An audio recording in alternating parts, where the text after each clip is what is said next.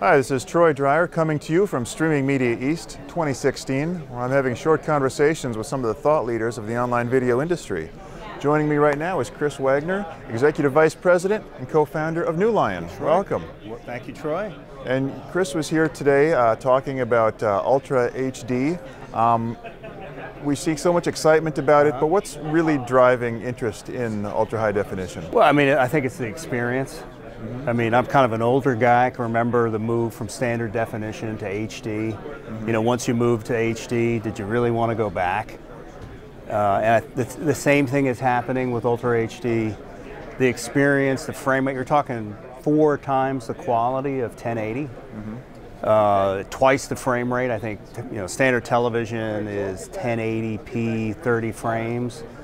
So to get a little technical, you're got 4,000 pixels, right? So it's four times 1080, and it's double the frame rate. So for sports, you know, we all have this uh, experience of being in an arena or being in a stadium uh, when you watch live sports.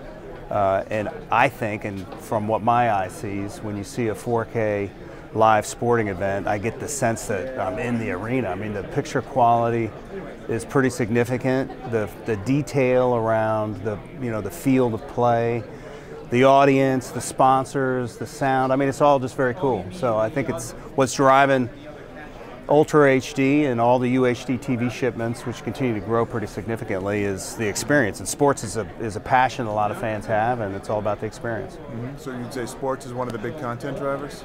I think so. You know, when we are, when we talk to our customers about 4K, uh, many of them um, are planning 4K events for this year. We've already done four. We did a, a big match out of Barcelona uh, for the El Clasico game.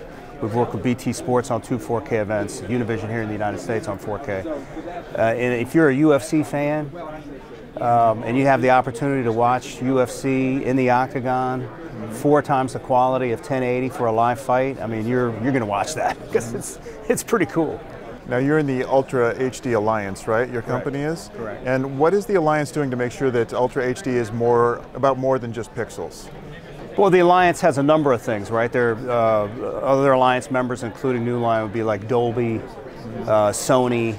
You know, it's the formation of standards so that uh, when you buy a TV at a Best Buy or another retailer, which by the way, 4K TVs you can get for eight, 800 bucks now. So, yeah, so the price points are coming down nicely.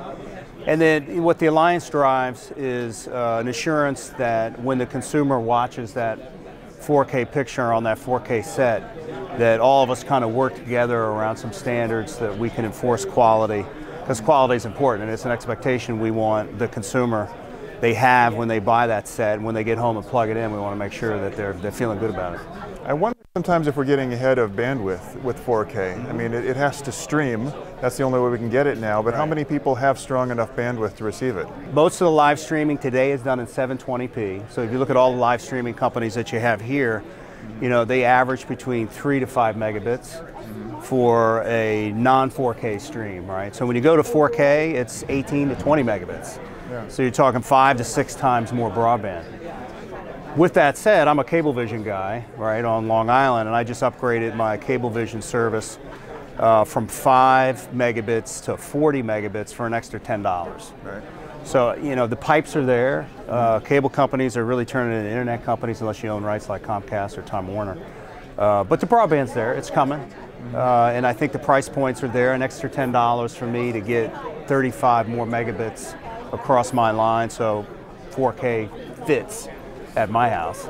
Uh, but you're right, it does require more. So that's a good investment, you think? I think so. I mean, when I sit there, I bought the TV and I get live sports, and Amazon and Netflix have 4K movies, and you know, I, I see the difference. People come to my house see the difference. Mm-hmm. Very good. Well, we'll be watching the area. Thank you, Chris. And this is Troy Dreier coming to you from Streaming Media East.